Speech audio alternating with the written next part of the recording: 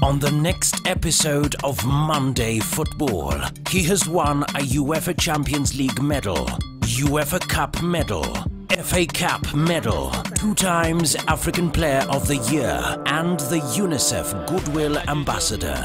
Catch the trio of Waihiga Mwaura, Bernard Ndong, and Mike Okinyi as they host retired Nigerian footballer Kanu Nwankwo.